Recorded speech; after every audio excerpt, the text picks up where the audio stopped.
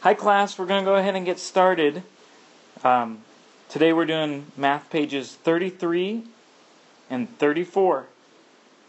Math pages 33 and 34. Bible verse.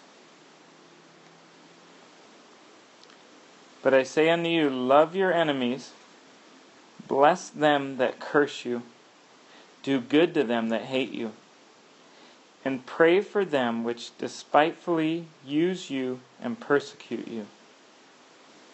And guys, that can be hard to do. People who are maybe not kind to you, but we're called to love them. And the only way we can do that is through the strength that God gives us.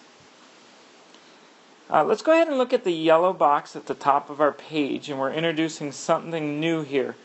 We're figuring out how to change inches to feet, or feet to inches, or feet to yard, or inches to yards, or to the mile.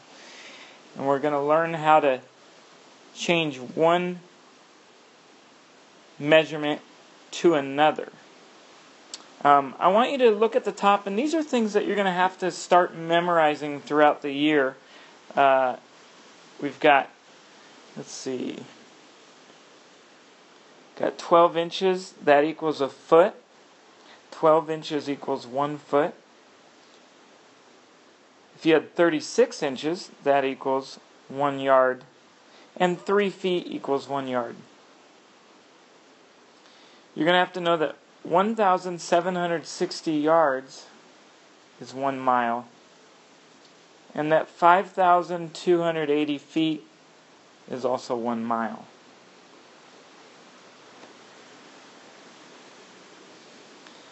Okay, I want everybody to stand up right now.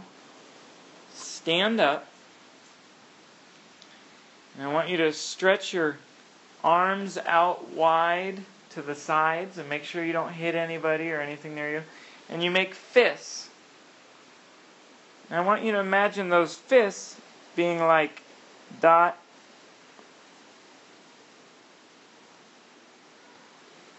dot, and a dot, your two fists. That means divide. Kind of like a division symbol would look like, like right there. That means divide. Your two dots. So stretch your arms out, and that means divide. Then I want you to bring your arms close in and make an X with your arms. Make an X like this with your arms, and that means multiply. And I want you to remember this phrase smaller to larger. So if you did smaller, you do the X and you bring it out to larger. Smaller to larger means divide. Because if you start with an X and you go out to your fists stretched out, you go smaller to larger, it means divide. If you go larger to smaller, start with your fists out far, spread your fists out and then bring it in and make an x. Larger to smaller means to multiply. And I'm going to help explain that better as we go along here. They have an example of a problem here. We're going to look at it. Six feet. And let's say we didn't know that it was two right there. See where I'm crossing it out? Six feet equals how many yards? Well, feet to yards. We're going from smaller, a foot, to larger to yards. So we're going from smaller to larger. That means divide.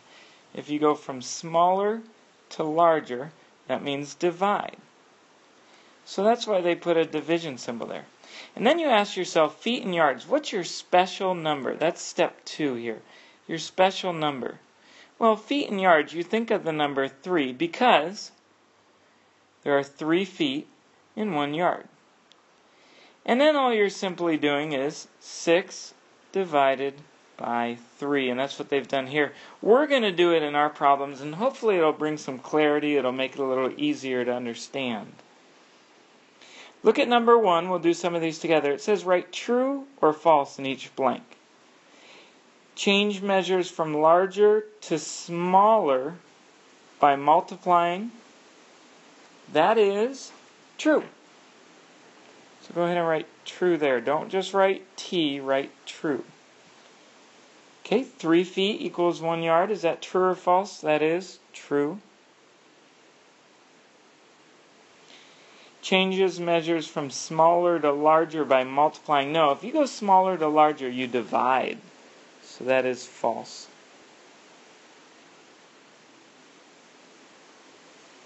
Twelve feet equals one yard. Well, if we go back and look, one yard equals three feet, so not 12 feet. No, that is false. And 36 inches equals one foot. 12 inches equals one foot. So not 36, that is false again. Okay, now we're getting to some problems here and we can work on them. It says solve these simple measurement problems. We're going three feet and we're figuring out how many inches there are. Some of you might be able to do it in your head, but I still want you to be able to understand these steps that you learn so that as the problems get bigger, you're prepared and ready to handle them. I want everybody to write a one, two, three. Go ahead and write that down below 2A. In step one, we're going from feet to inches. Are we going from larger to smaller, which would mean multiply? Or are we going smaller to larger, which would mean divide? We're going from a foot to an inch, that's larger to smaller. So that means multiply. Everybody put a time symbol for number one. Okay, now we're going to look at the next step. What's the special number? When you think feet and inches, how many inches go into a foot? Well, 12 inches goes into one foot. So our special number is 12. And now all we have to do is 3 times 12. We're going to go ahead and write that right here. 3 times 12. 3 times 12 gives us 36. And so 3 feet equals 36 inches. All right, let's do another one, two, three. Okay, yards to feet. Are we going larger to smaller or smaller to larger? When we're going from a yard to a foot, we're going larger to smaller, and that's going to mean, again, multiply.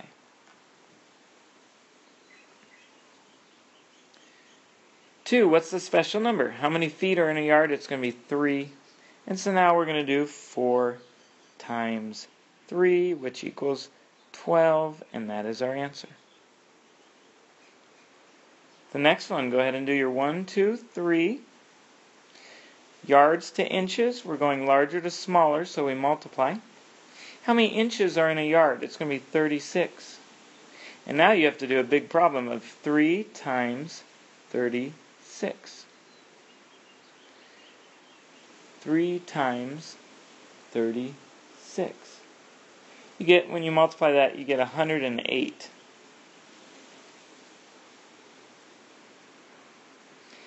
it's kind of cut off the last one but it says 12 feet. I want to do that one because we're going to have something that we haven't had yet. Step one we're going from feet to yards we're going from smaller to larger so this time feet to yards a foot is smaller than a yard so this time we're going to divide What's our special numbers? Feet and yards, it's going to be 3.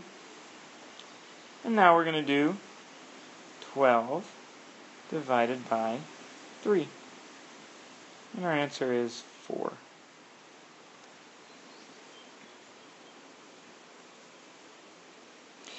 Um, if you'll go ahead and turn the page and look at the bottom of the page,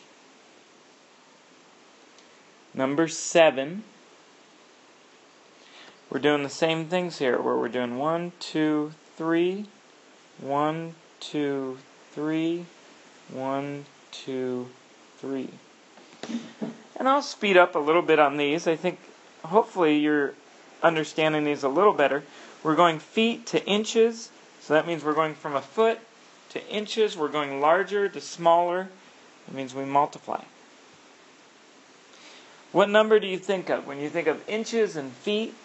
you think of 12 because there's 12 inches in a foot. And now all we have to do is 16 times 12. 16 times 12 is 192. Um, go ahead and write the 16 times 12 right there. And then write your answer right here, 192. Okay, B, 24 yards equals how many feet? We're going from yards to feet, so we're going larger to smaller. We multiply. How many feet are in a yard? It's going to be 3. And now you'll do your 24 times 3.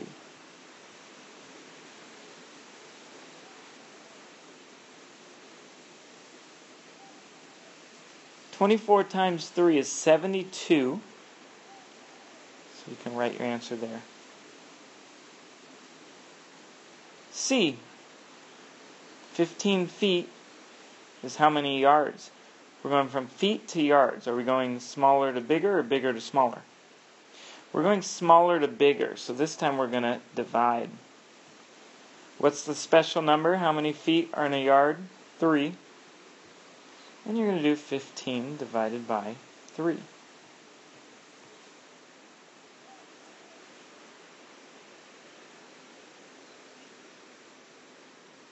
3 goes into 15 five times, and that's your answer. It's very important for you to know that um, a rat and the camel can both hold a lot of water. See, the camel that travels through the desert, and I don't know if this is true. I think this is where it keeps its water in the hump. The camel always has the hump. Now, a rat also is known for being able to contain a lot of water. So I want to ask you guys right now which one do you think can go longer without water? Stand up if you think it's a camel.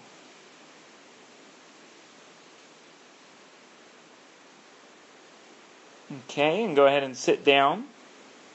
Now stand up if you think a rat can go longer without water.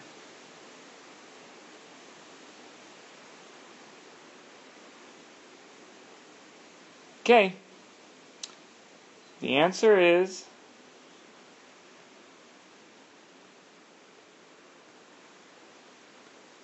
a rat. A rat can go longer. A rat can go longer. Maybe it's because of his little tiny cute toes. Also, an elephant in one day can consume 60 gallons of water. That's a lot of water. Hmm. Oh, that's kind of scary. You guys know what people call this? A panther. But I got to tell you something. This is really important for you to know from now. There's actually no single cat called a panther. It's really the the name's commonly it's for a leopard or or a puma and a jaguar sometimes. A black panther is really just a a black leopard. So you don't have to be scared because there's no such thing as a black panther. Uh, maybe you do have to be scared because there's such thing as a black leopard. And it looks like this black leopard is looking right at us. I'll make him go away. I'll just put the cute rat toes back up. Go ahead and do the rest on your own. You guys are super smart. I know you can do it. And also to help you out, cats have no ability to be able to taste sweet things. They can't tell like that a Hershey chocolate bar is sweet. My cat likes fish and chicken though.